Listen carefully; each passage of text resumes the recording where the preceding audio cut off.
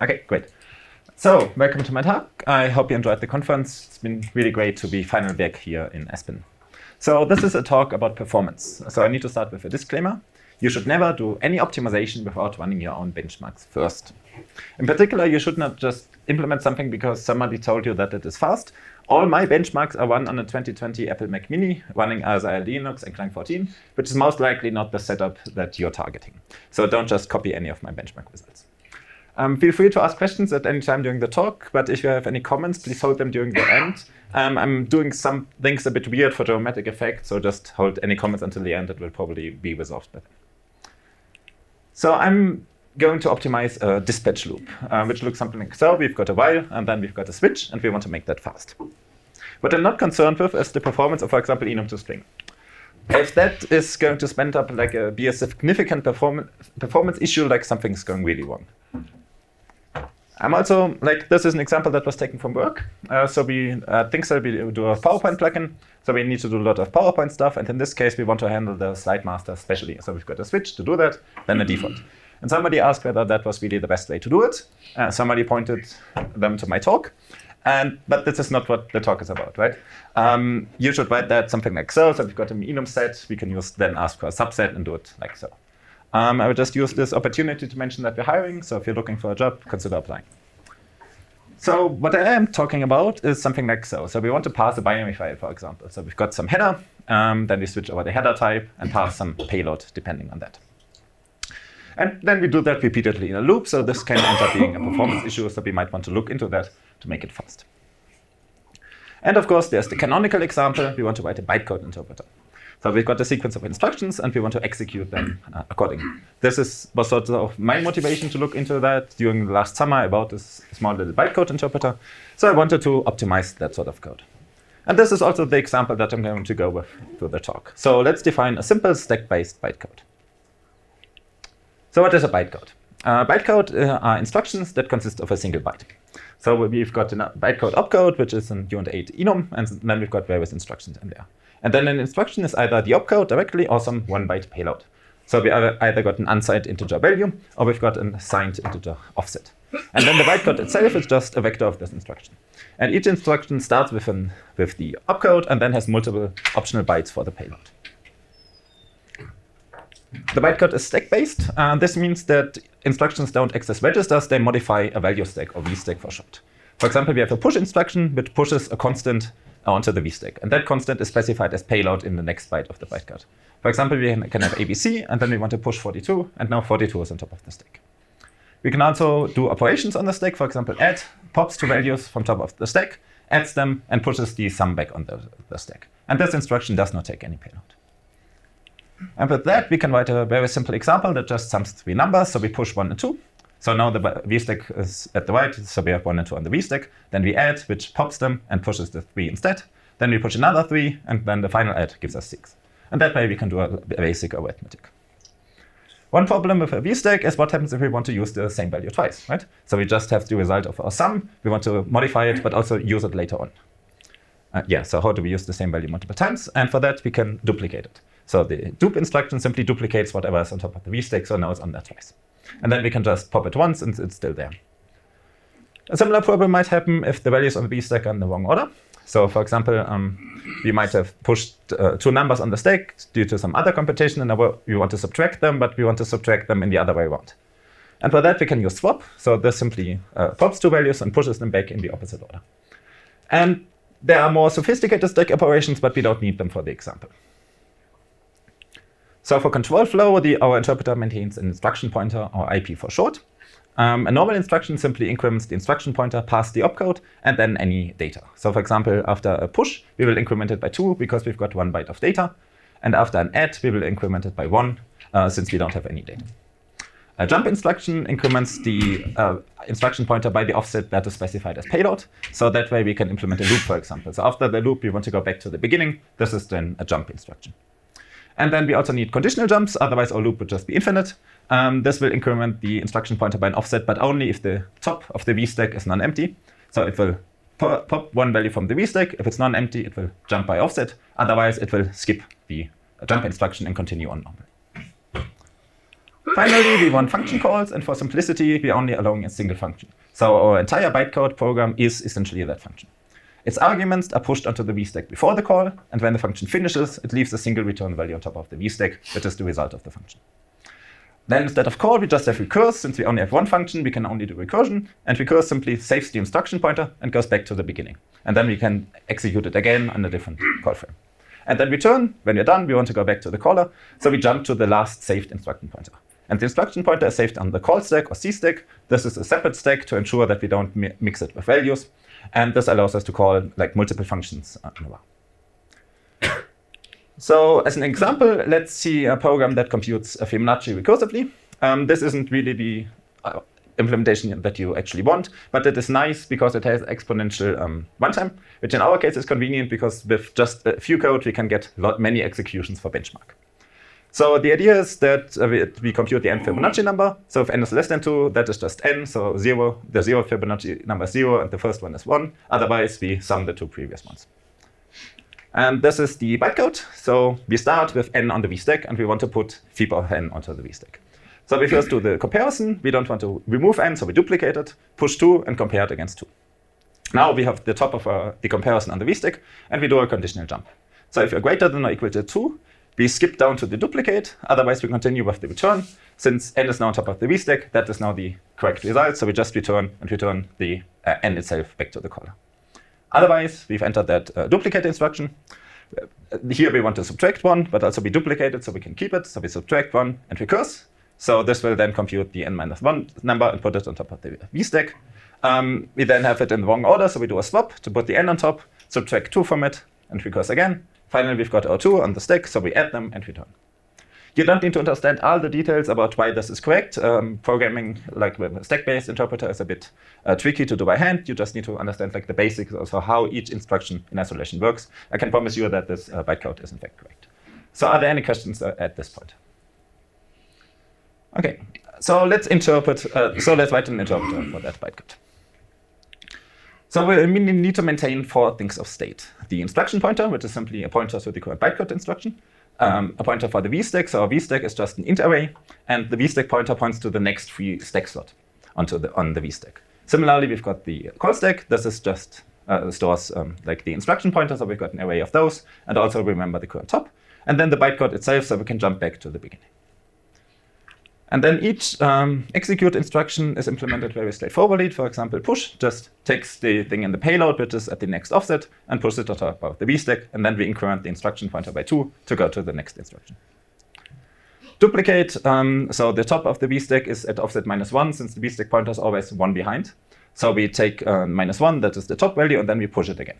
And then we increment by 1, since this time we don't have any payload in the bytecode add or subtract or comparison and so on, they all look the same. So we pop the operands, mm-hmm. compute the result, and push it back on the vstack, and then increment by one. A conditional jump, for example, it just pops the value uh, from the vstack. If it's non-zero, then we jump to the offset. Otherwise, we skip past the opcode and offset. Recurse saves the instruction pointer on the call stack. The only thing to note is that we're saving the address after the recurse. Otherwise, um, return will just jump back directly to the recurse and we have an infinite loop since we just keep recursing so on. And then we just jump to the beginning of the function, which is the beginning of our entire bytecode. And finally, return simply jumps to the position that we just saved. The entry point for our interpreters takes the bytecode and the single argument to our function. It then creates a vstack, a cstack, which are just arrays of some size. We initialize the instruction pointer and the vstack pointer.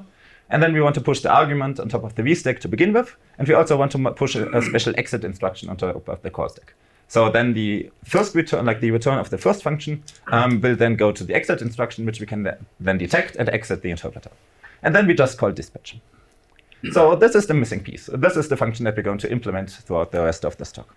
So it takes our arguments for the interpreter state, reads the current opcode, executes the appropriate uh, assembly code that we need to like um, process that instruction, and then repeats that until we've reached the exit instruction and are done with the execution. So this conference talked a lot about safety. So at this point, I need to make a disclaimer. Um, bytecode interpreters are really prime candidates for remote code execution exploits. Right? As soon as you, you can exploit them, you can control them.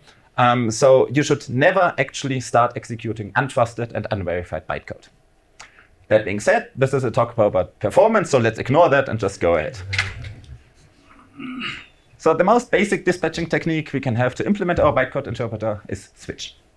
So this is how, um, how it looks. We have a while loop that is just while true for simplicity. Then we switch over the current opcode and execute push or add or whatever is necessary. And when we reach the special exit construction, we return from the loop and return the final value that is on top of the VStack. One uh, qualifier, um, so even though we actually covered every single um, enum in our switch, the compiler doesn't know it and it will generate a bit of ugly code um, if we can't tell them. So let's just say the compiler that we don't have a default case. Otherwise, the assembly will get a bit messy. So let's ignore that. And at this point, I've essentially shown you the complete implementation of the bytecode interpreter. So are there any questions about that? If you're watching this on YouTube, um, you can also find the source code on GitHub. So to understand what the compiler is doing for the switch, we have to look at the generated assembly code. Who here can roughly read assembly code? Okay, that's, uh, that's almost everybody. And when you answered that question, who was thinking about ARM64 assembly code? Okay, that's nobody. Great. so let's really quickly uh, take an overview of ARM64 assembly code, since that's the machine I'm running this on. Don't worry, it's a lot easier than x86. So we've got um, uh, some registers, x0 to x30, and those are 64-bit. Um, we can also access the 32-bit uh, by the lower half by using W instead of X. Then the uh, important stuff uh, to mention is the memory access we can do. So the addressing modes, for example, when we have a register which stores an address and we want to read the value that is at that address, we put it inside square brackets. And this is essentially a pointer dereference. We can also do a pointer dereference with an offset. So for example, we can read uh, x0 and plus 42 and then read that address. And this is an offset in bytes. Um, we also might want to do like add the 42 permanently. So we have a pre-increment and a post-increment. And this just adds the offset and reads it. And it either does the increment before or after, which is very convenient if you want to read something and increment the pointer at the same time. And finally, um, so when you want to read, for example, index into an array of um, uh, 8 byte objects, you want to multiply the offset by 8. And for that, you can use the final index operation where you specify a left shift by 3. And this will essentially do an array access into a 64-bit uh, integer array, for example. So with that, we can look at the assembly of our switch statement. So we've got the loop, uh, begins at that label, and then we read the current opcode. Uh, we first compare it against 0. If it is 0, then we want to go to push. Uh, we then compare it against 1. If it is 1, we want to go to add, and so on. And if nothing else matters, matches, we go to exit. And then each push instruction or each other instruction just has a couple of assembly instructions. So push, for example, we read the next byte in the bytecode, store that in a register, then store that back onto the VStack. Uh, while doing the afterwards, we directly increment um, the VStack pointer with the post increment. Then we increment the instruction pointer by two and go back to the beginning of the loop. And when we reach exit, we just load the final value and return from the function. Very uh, straightforward code. In fact, this is so straightforward, it isn't actually what the compiler generated. Um, because what this does is a comparison of the opcode against 0, then against 1, then against 2, then against 3, which is like linear number of comparisons and the number of opcodes. So the compiler can be a bit smarter. It can sort of do a binary search. Um, so it gets a bit messy in assembly code. So here is it in C. So it first checks is the opcode less than 4. If so, okay, we handle the case. We know it's between 0 and 3. Um, then we do check, do a comparison against 1. And then we only narrowed it down to two cases, so we either go to push or to add. And this is essentially a binary search um, over the labels that we want to do and has log n comparisons, which is a bit nicer. So thanks, compiler. So let's um, see, see how fast um, the computation actually is. So let's measure the time it takes to execute fib35. Um, this is the result. It takes 460 milliseconds. Is that fast? Oh, thanks. 460 milliseconds for fib35 is fast. Who thinks that they have no idea because I've given you absolutely zero context? Right? So, how do we actually benchmark things? We need to take multiple ones because there's inherent noise. We can then report the average and the standard deviation to exactly qualify like what sort of is the level of noise. And then we can compare it against something else, right? And just in isolation, performance numbers are meaningless. We need a different implementation. One tool uh, for benchmark that's really convenient um, I found is Hyperfine. This is a command line benchmarking tool. So you give it um, multiple, essentially shell commands, and it will execute each shell command multiple times, report the ranges, the average, and then tell you which one is nicer. So th this is a very convenient tool which I've used to do all the benchmarks. However, I'm not actually going to give you this, uh, the standard deviation and so on. I'm just going to give you the average because I want you to do your own benchmarks to do the own qualitative uh, performance analysis. So we've just got a single benchmark, but let's just say for the sake of um, this talk, this is too slow. We want to make it faster. So how can we make it faster? How to optimize? Step one is we need to guess a problem, like what's actually slow. Um, this can be an educated guess. This can be just a wild guess. So let's just make a guess and say that the problem here is branch prediction. So what do I mean by that? So the CPU executes uh, assembly instructions in phases. So it first needs to fetch the memory of the next assembly instruction that's going to execute. Then it needs to figure out what exactly that is. Then it can execute it, and then it can write the results back into memory. And the crucial thing is that this is done in parallel. So while it's fetching the memory, uh, while it's executing one instruction, it can already start fetching the next one and so on, since this is done by different parts of the CPU, so it can be done in parallel, so we get a nice speed up. However, this can only be done in parallel if the CPU knows what the next instruction is going to be.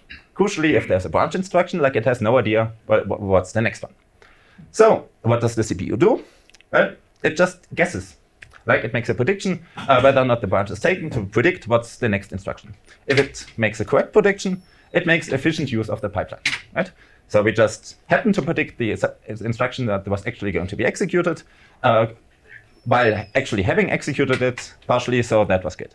Um, if it made an incorrect prediction, that's bad, because then it has partially executed it, so we need to stop everything, roll back the pipeline, and start executing the real one. So we want to always guess correctly.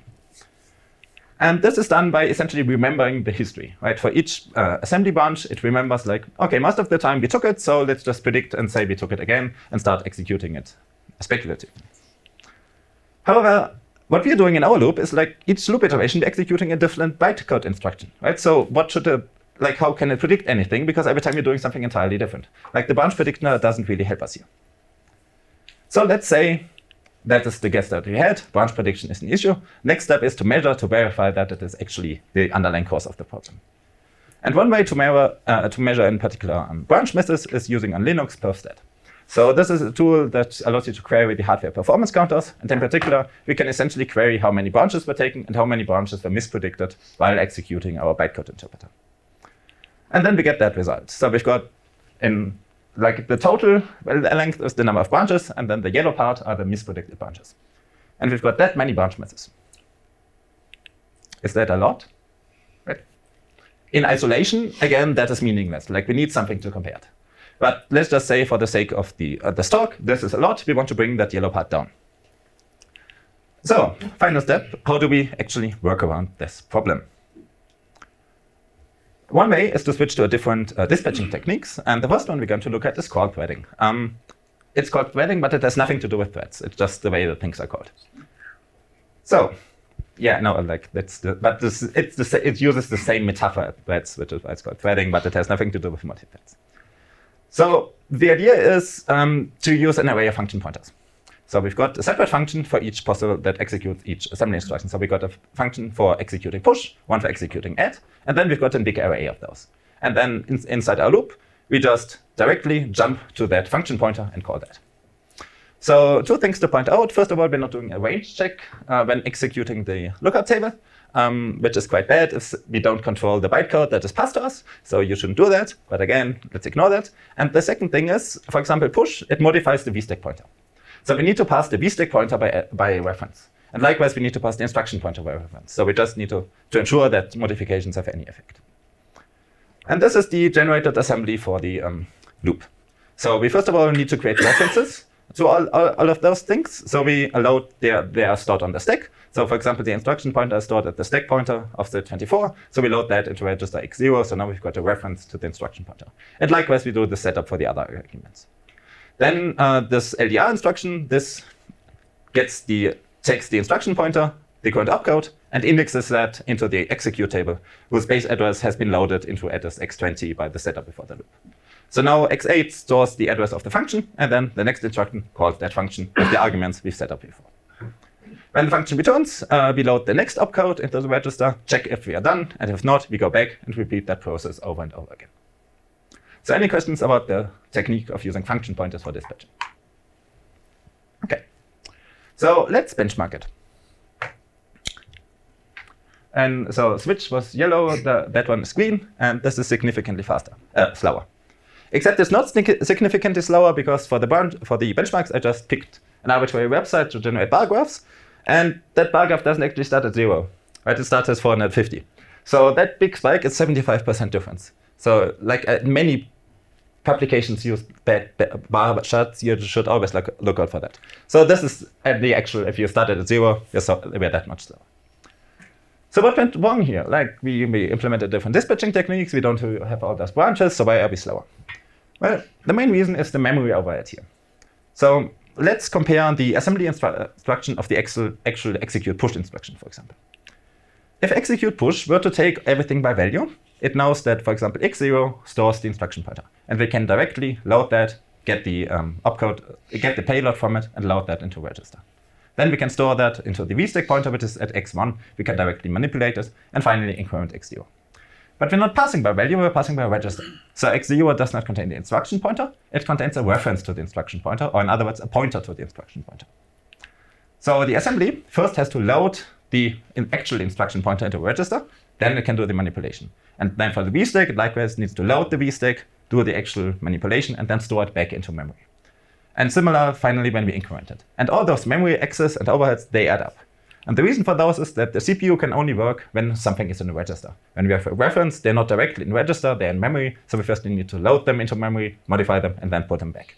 This adds overhead. So th that didn't work. So let's try a different workaround. This is how you, how you do optimization. You guess a problem, you try to fix it, and then you repeat that until you fix it. So a different dispatching techniques we can do is token threading, or sometimes called indirect threading. And the idea here is to leverage a GNU extension computed goto. So you're all familiar with regular goto. You've got a label for a statement, and then you can go to that label. It's really nice if you want to write readable code. With uh, computed goto, we've got two extensions. First of all, we can take the address of a label using this weird uh, double address operation. This gives us the address of a label, and then we can go to that stored address. And yes, we're dereferencing a void pointer here in front of the goto, but that's fine. And now the idea is instead of having an array of function pointers, we have an array of labels. So we just we have a label for each instruction handler that we want to do, which contains the code, and then we create a table for that. And instead of calling a function, we just go to that label. And after we've executed a particular bytecode handler, we continue, go back to the loop, and start executing the next one. We look at the assembly that's generated. Um, it looks very similar. So at the beginning of the loop, we load the current opcode, then we index into an, a table, and then we go there. Uh, and then at the end of each instruction, we increment the instruction pointer by the appropriate amount and go back to the beginning of the loop. And this isn't actually, again, the assembly that the compiler generated, because it looks at that and thinks, OK, so after push, we do an add, and then we jump back to the loop. And then we do some stuff, and then we immediately jump somewhere else. Uh, this is a bit silly. Let me just fix that for you and directly jump to the correct place to start with. So it replicated the dispatching code from the beginning after every single instruction. So every, like after push, it will directly jump to the next instruction instead of going back to the loop. And one another advantage um, the compiler was able to do is so before we got the add, and then we got a branch, and then we load the x0.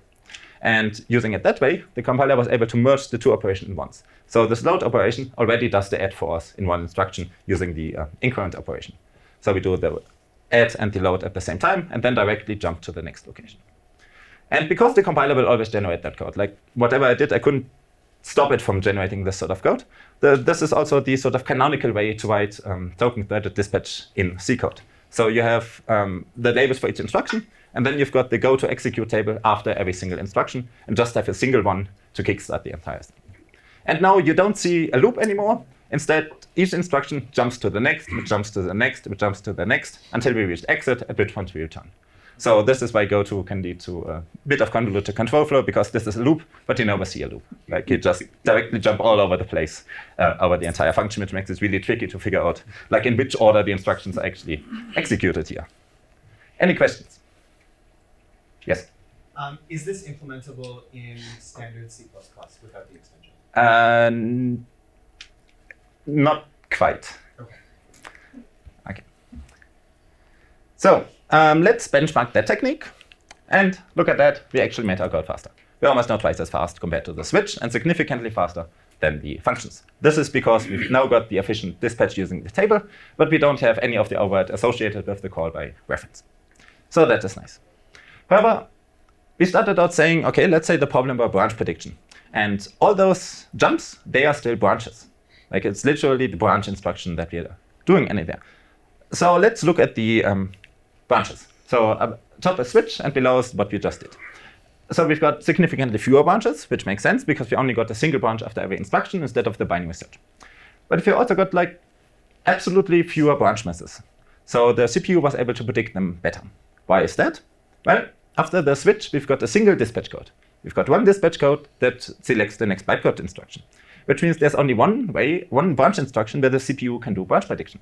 Right? It cannot really learn a lot. So the only thing it can learn is what the instruction is most likely going to be executed. And every instruction is roughly equally likely to be executed, so that doesn't help us.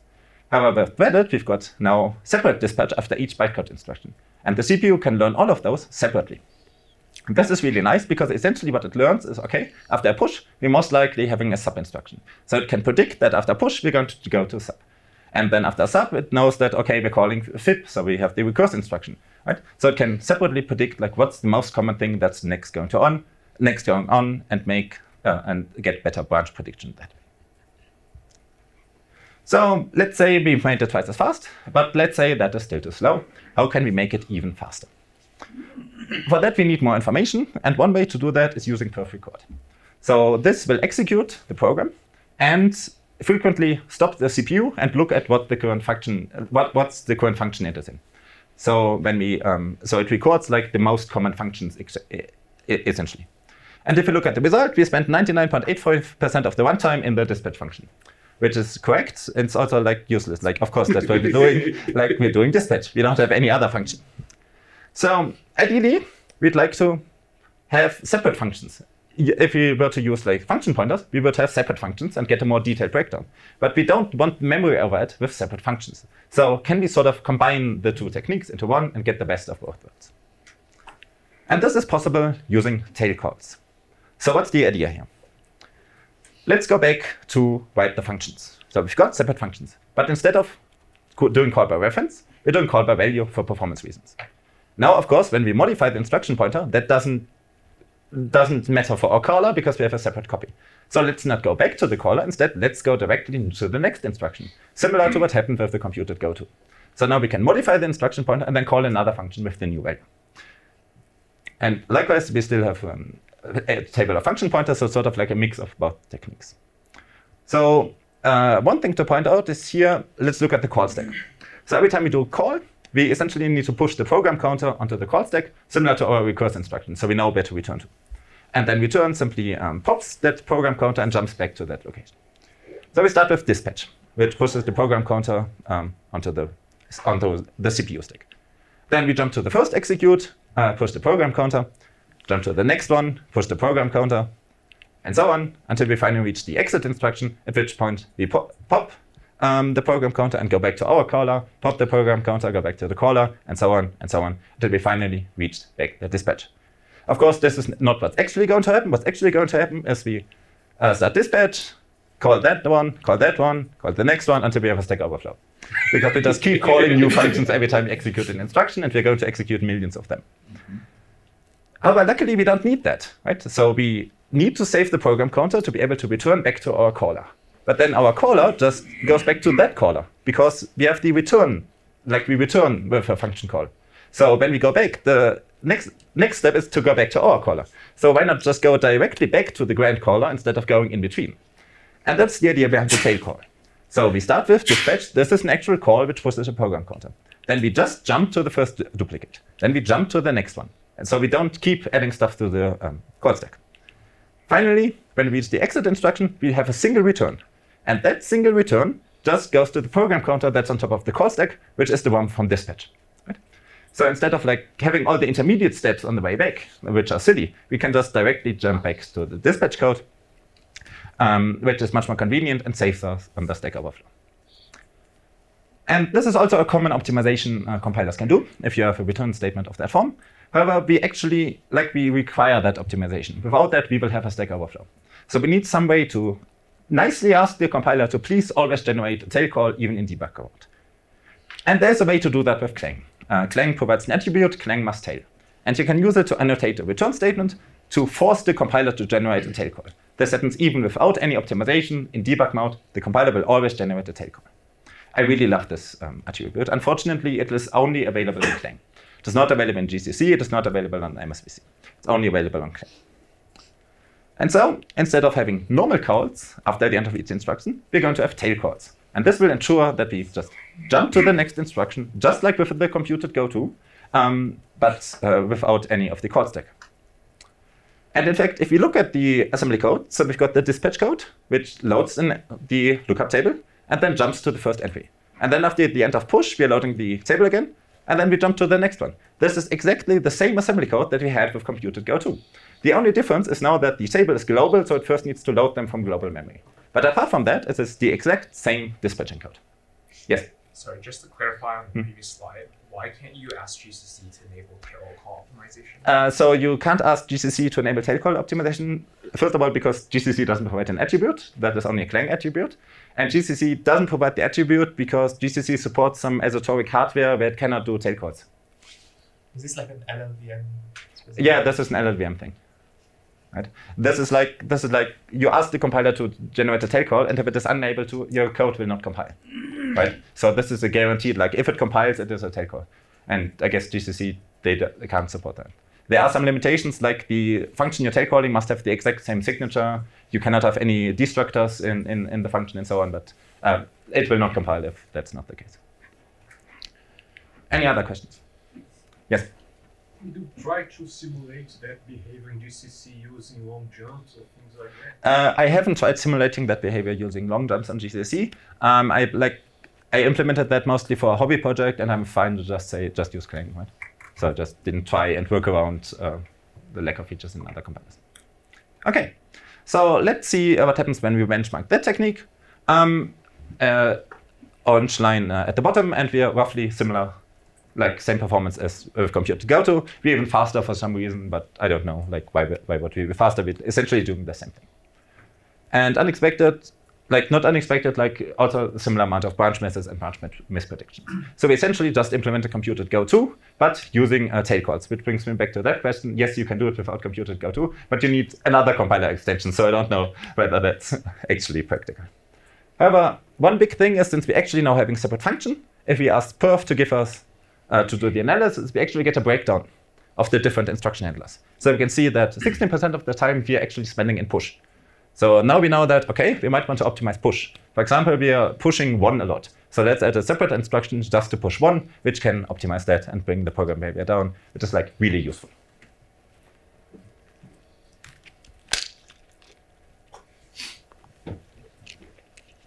Okay. Um, let's talk about the register keyword. So the register keyword is available in C, and you can ask the C compiler to please keep this variable in a register. As we've seen, the CPU can only work on variables which are when the value is in register, so we can sort of like ask the C compiler to do that for us. However, normal modern compilers do it for you. So we don't actually need to tell the compiler to please put the instruction pointer in a register, like with the register keyword. The modern compiler will do that for you, which is why register doesn't have any meaning in C++. However, modern compilers don't always do that for you. So this is a quote from Mike Pall. Mike Pall is the author behind LuaJIT. Uh, besides a just-in-time compiler for Lua, LuaJIT also has a bytecode interpreter. And this bytecode interpreter is written in assembly. And in this email, um, he explains why he wrote it in assembly. So, for example, he can say that we can use uh, direct indirect threaded implementation with computed goto, which we, what we did. Um, this replicates the label and the dispatch for performance, as we see.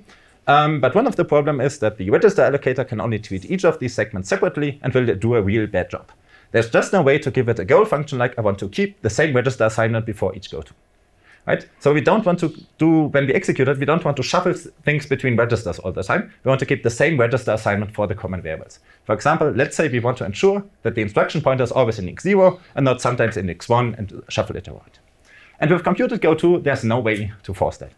However, we are not using computed goto, we're using function calls. And with function calls, there's the calling convention. So at the assembly level, a function call is just a jump to an address. So where are the arguments passed? Well, they're passed in registers. On ARM64, uh, we've got eight arguments that can be passed in the first eight registers. So when we call a function, we put the first argument in x0, the next one in x1, and so on, and then we jump to the address. so we can, when we want something in a register, we pass it as an argument. The bytecode, the instruction pointer is the first argument, so it will be in x0 when we call the function. Sure, then the compiler can do whatever it wants and move it around store it in memory and do whatever. But at the end, it calls the next function, which expects the instruction pointer as the first argument, so it has to put it back in x0. And this means in practice, the instruction pointer will always be kept in x0 because why should he move it around, right? So as we can see, we've got um, in the code, we've got x0 is always the instruction pointer, x1 is the vstack pointer, x2 um, is the C stack pointer, and x3 is the bytecode. So that way we can force the compiler to get a particular register assignment using the calling convention. So the standard calling convention on ARM64 gives us eight registers. So we can keep eight things, uh, eight things in registers using eight arguments. On x64 li Linux, we only got six registers, which is less. And on Windows, it's only half that at four, which is a bit unfortunate. So at Windows, we can only keep four things uh, in registers. However, we don't need to use the standard calling convention. We are the only ones that call that function. Nobody else does. So we can just ask the compiler to generate a different calling convention, one that gives us more registers. And one of those yeah, is GNU regcall. So with GNU regcall is a calling convention that passes as much as possible in registers. So that way on Linux we get 12 registers and on Windows we got 11. On ARM it does nothing since we already have 8. So we can now annotate if you need more than four uh, arguments, for keep more, for, more than four things in registers, we can annotate it with GNU regcall. Yes? Uh, does Clang also support? Uh, yeah, Clang supports that. Yes. And the SVC? Uh, probably under the different, I don't know. Like I don't use like uh, MSVC doesn't support tail calls, so it's kind of red. Yes. Uh, is there like a redlining to this? Like, is there like a performance impact? Uh, yeah. So the performance impact is that within one function you've got fewer scratch registers, right? So if you need scratch registers, you have better things, right? But if the only thing you actually work with are those argument values, right? Then then then it's fine, right? So this is why it's not enabled. By yeah, it's not enabled by default because normally like a function does actual stuff with temporary values and so on. But here all the functions are like three instructions, right? Yes, Daisy. Why does ARM64 ignore it? Uh, I guess because they already give eight registers. Like it's just like it's a attribute for x86, right? But it, it could. It, it could it do more registers, like there are other registers. Yeah, yeah. Yes? One reason why the register word was deprecated mm. is that if you try and lock down all your registers, there's no way the optimizer can work around. Yes. It. And so it really, really kills performance. Uh, it really kills performance. It, it, will. It's probably much better, other than your examples yeah. here, not to to even try and do that. Yeah. Because even if you have to reload it from memory, it's going to be faster yeah. than having to work around not having registers available. Yes. So, like in general, normally the compiler knows better than you what to keep in a register. But this is like a very specific situation where we want to know better and like exactly generate the assembly that we wanted to do. So we can use that sort of trick to reliably force the compiler um, to not do stupid things. Okay. So the email uh, of Mike Pall continues. Um, uh, listing advantages of writing an interpreter loop in assembly. For example, you can keep a fixed register assignment um, for all bytecode instructions. Hey, we can also do that. Like using the arguments, we can keep a fixed register assignment. Um, you can keep everything in registers in the fast path and split and reload only on the slow path. And you can move the slow path elsewhere to help with iCache density. So what does that mean? So what is the iCache? So assembly instructions that the CPU executes are stored somewhere in memory. And memory access is slow.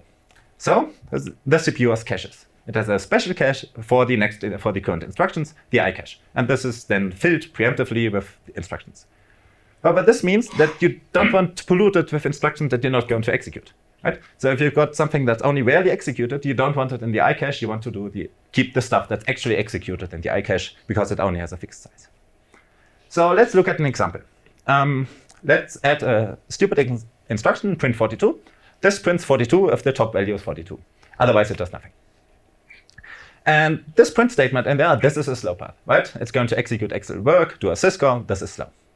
So let's um, change the benchmark.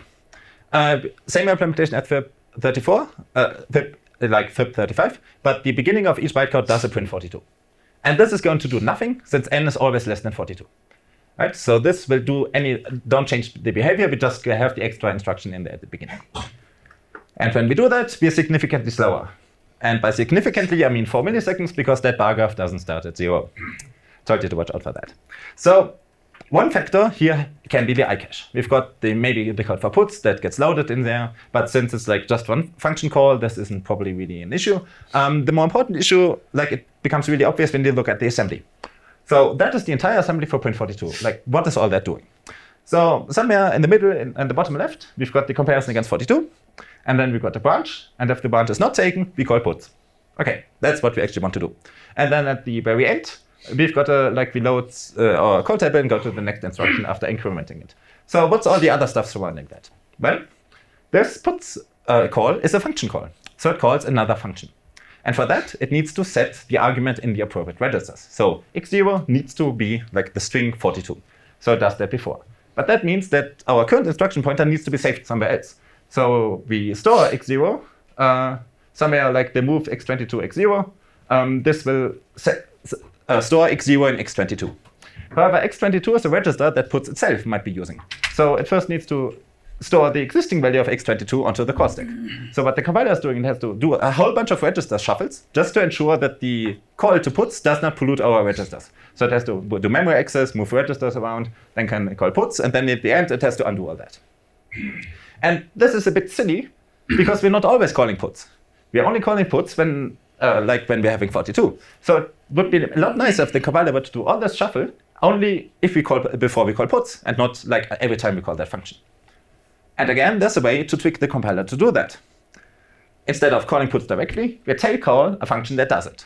So if uh, the top value is 42, we tail call the other function. The other function prints 42 and then continues executing. So we've sort of duplicated um, the code here. And now the execute print 42, it doesn't have any function calls, right? It just has a tail call to another function. So the assembly for print 42, it just looks as we expect. We compare it against 42. If so, we just jump, do a tail call to print impl, otherwise we continue. and then the assembly code for print impl, this has all the register shuffling. This does all the setup, this does all the memory accesses, this does all the slow things. And that way we completely eliminated the overhead um, in the actual print42 function, and we've got the same performance again.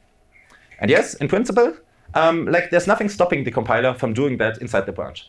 But I um, guess it's just that the compiler knows, okay, when we call a function, we need to preserve registers. And it doesn't look at whether or not that function call, how often that is going to happen. So it will always do that at the beginning and restore it at the end. And by using tail calls, we don't have any function calls. We move them somewhere else, and we get fast code. However, it's important that since we are tail calling, we cannot actually return, right? That after that, after we printed 42, we tail call somewhere else. Uh, or consider this example. So let's say we want to guard against stack overflow. So when we reach the end of the call stack, we want to allocate more memory. This is slow, so we move it into a separate function. And after we allocated the memory, we want to return back to the caller. But we don't have that information, like we have in tail call. We've lost all the information from where we came from. That is the entire point of a tail call. So instead, we have to do a tail call back to the beginning of the no last instruction we came from. Do that if again, this time the condition is no longer true, and continue. Right? You cannot just write a return, because the return will go all the way back to the dispatch loop, since that's the actual parent function. Otherwise, we've been just jumping around. So you have to keep that in mind. Any questions about that? Okay.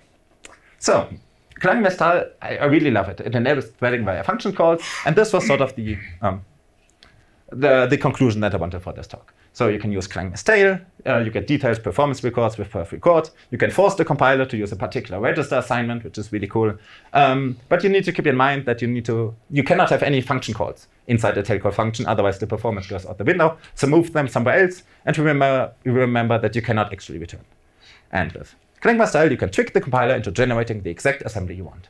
This was a nice talk, I thought. I could present that. I could demonstrate it. Like This is sort of like I implemented my interpreter that way. I wanted to share that technique, which is why I submitted the talk. So I wrote all my slides, and then I thought to myself, just to be sure, let's also benchmark that on my old laptop, and not just on the Apple M1. So, new benchmarks. Um, my old laptop, a 2016 ThinkPad 13 running Arch Linux and Clang 14. And those are the results for our four techniques. And as expected, switch is by far the fastest. like what? But is it doing the login search? Is it doing? Yeah, I, I told yeah. So let's look at the branch misses. We've suddenly got a significant amount of branch misses using threading and tail calls, right? That is like almost a quarter of all branches are mispredicted. Okay, but why? Well, the answer is branch target prediction. So with the switch, we've got a conditional branch but a fixed target. So we want to do a comparison, and if it is equal, we want to go somewhere. We always know the fixed target, like we always want to go to put the push label, but we don't know whether or not we're going to jump there. And with the um, uh, tail calls and so on, we've got a lookup table. So we load the address where we want to go somewhere, which is like variable, and then we always jump. Like we have an unconditional branch, but we don't know where we're going. On the other hand, we've got a conditional, like we know um, where we're going, but we don't know whether we will actually take that branch or not.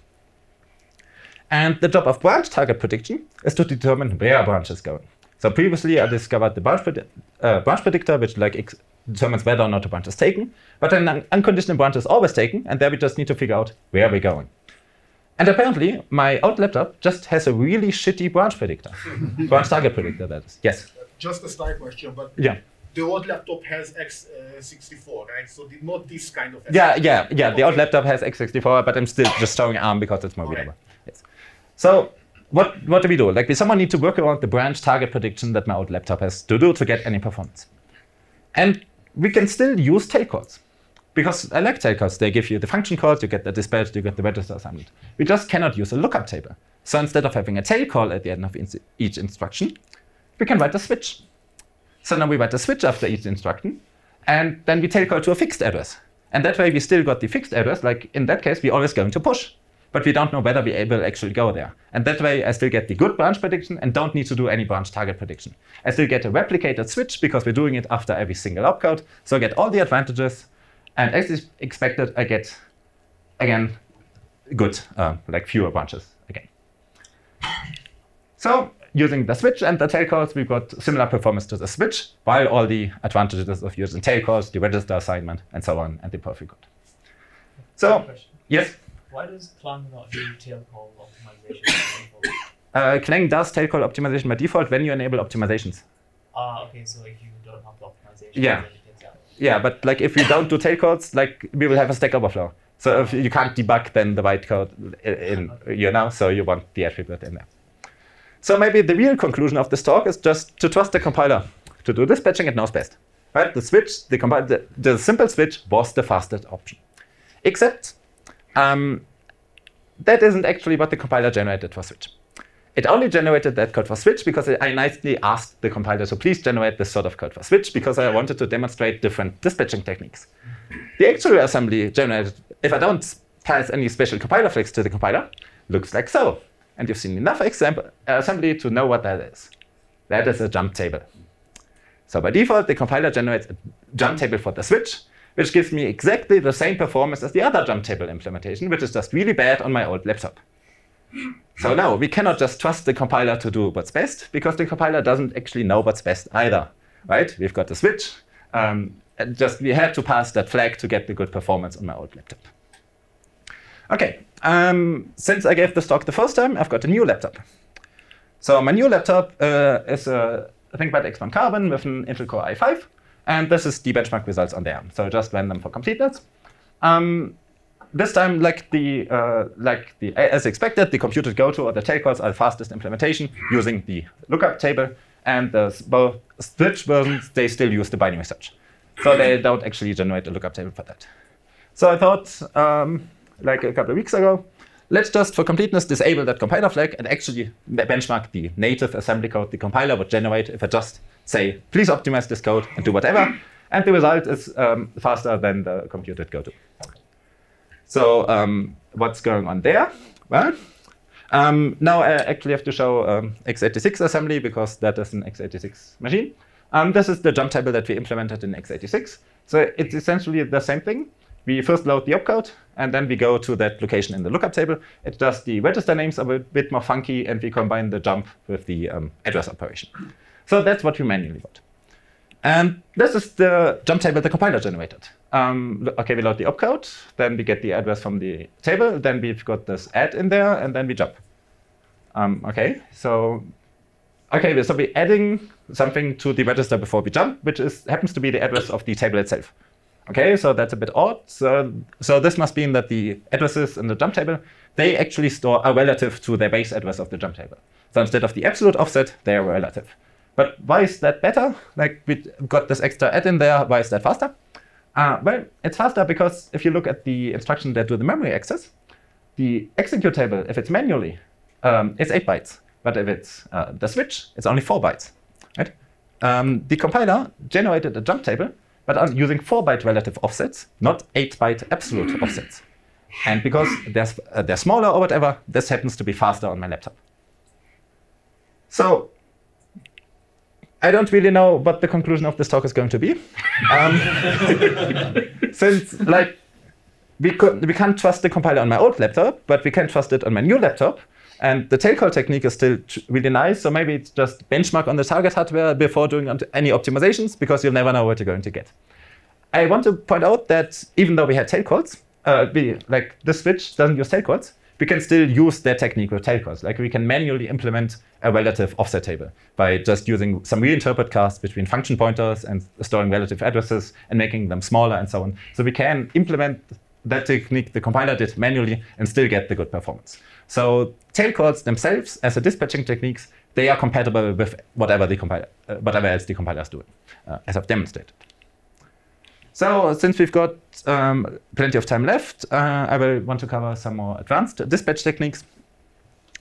So we had looked both at computed goto and tail calls, and essentially they do the same thing. We just having um, like tail calls in one and uh, like goto. So the lookup table first contains labels, and here it contains addresses, and then we are indexing into an array using the opcode.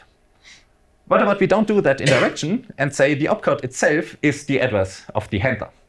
Um, this is direct threaded. It can be implemented in both ways. So in the first one, we've got the bytecode op that is um, like we've got a bunch of addresses, and then we go to directly that address.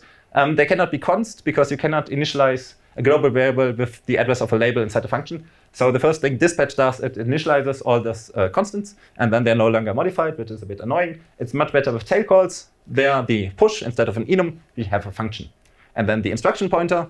Um, directly stores function pointers, and so we can directly jump them.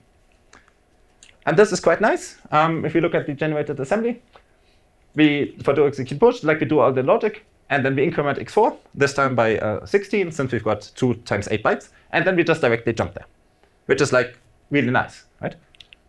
This is the best dispersed code so far because we just have one single jump.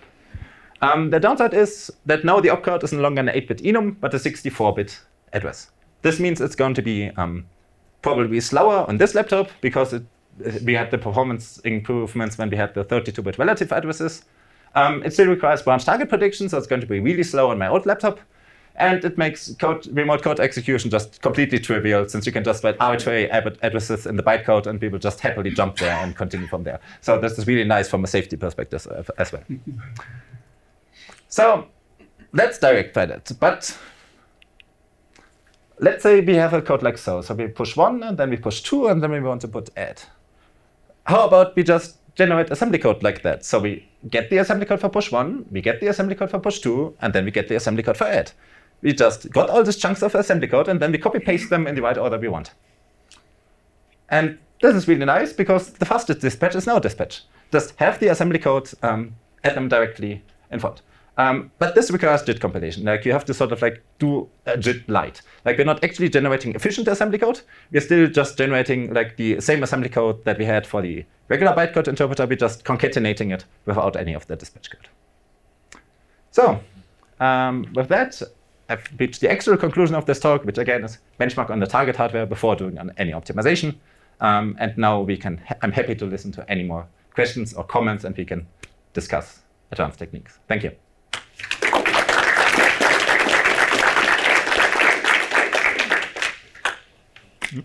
um, in the examples with the where you're passing everything as arguments. Were you Mhm. also passing the dispatch table as an argument? Yes, I could also consider passing the dispatch table as an argument. So we've seen like it first had to load it from a global memory, and we could eliminate that and get performance improvements as well there. Uh, but that many arguments wouldn't fit on the side. Okay.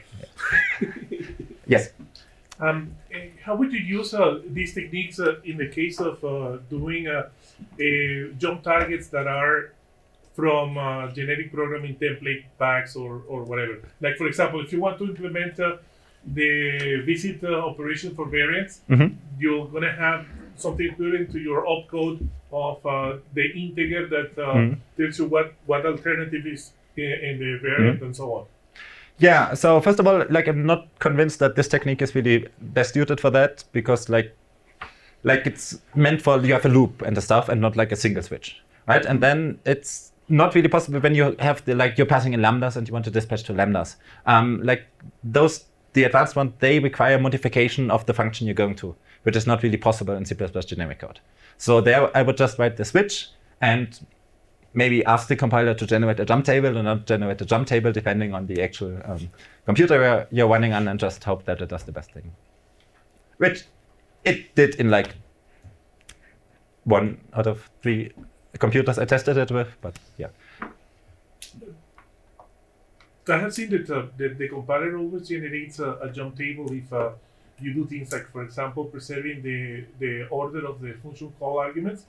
You can even have different numbers of uh, function call Yeah. arguments, but uh, in, in exactly the same order so that the subset uh, doesn't require the, the, the and um, uh, there is a big difference, or there used to be a big difference between GCC and uh, Clang with regards to when they would uh, generate a jump table. Mhm. I, I think that you only did uh, your experiments with uh, Clang. Yeah. Is that correct? Yeah, I only did my experiments with. Because uh, the, the, the behavior of uh, GCC is substantially different. Uh, Yeah. And uh, I think uh, that Jody Hagins at CppCon last year made extensive uh, comments on how to do dispatching Mm. within the context of generic programming. Mm, yeah. Uh, yeah, I'm not familiar with that talk, but yes, like benchmark first before doing any optimization because maybe the compiler already did the right thing. Yes. Just a note on that. The switch table threshold is fully configurable in GCC with hyphen hyphen param switch table threshold equals. You, you set the size of the table where you want to go from the binary search to the Yeah. to the table. So you can just play with that. Yeah, like I've used a similar flag to just ask Clang to not generate a jump table because I wanted a different dispatch technique than a jump Yeah, table. because a, a, a, a normal if then else in uh, Clang Mm. for, for, for constants that are numbers Mm. uh, it gets translated into a switch statement or a, Yeah, a yeah, exactly. a table. But uh, GCC, uh, as far as I know, have never learned how to control GCC to to transform an if then else, if then else, like a cascading if then Mm. else uh, into a jump table. But uh, thank you, Joe. I'm going to try the parameters that you are talking about Yeah. next time. Yeah, there's also like on LLVM, there's a talk a couple years ago from this, but that discusses the optimization LLVM does on switch. Like there are like if then else, binary search, jump table. There are also like tricks it, it can do with bit mask. Like it's quite smart. When you give it a switch, it will usually just figure out what's the fastest way possible.